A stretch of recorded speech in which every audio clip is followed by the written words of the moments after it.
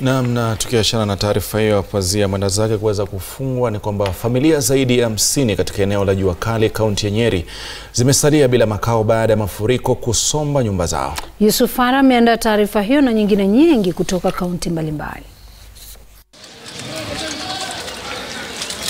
Licha ya kusubiriwa kwa hamu, mvua za masika zimeanza kwa kishindo katika kaunti ya Nyeri. Nyumba kadhaa zilisombwa na mafuriko katika kitongoji duni cha Kiwara, kaunti ya Nyeri. Na huko Mwingi, kaunti ya Kitui, biashara za kawaida zilisitishwa na mafuriko.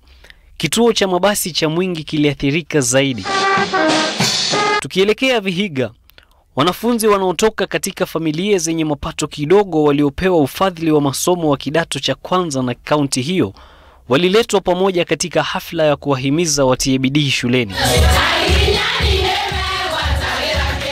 Hatimaye, kituo kinachoongoza nchini Radio Citizen kinachomilikiwa na Royal Media Services kilizuru gereza la akina mama la Thika, kaunti ya Kiambu na kuwatia moyo wafungwa ambao hupambana na unyanyapaa katika jamii. Vipindi vya Jambo Kenya na Changamka vilipeperushwa moja kwa moja kutoka ukumbi wa gereza hilo. Yes. Yusuf Farah, Runinga ya Citizen.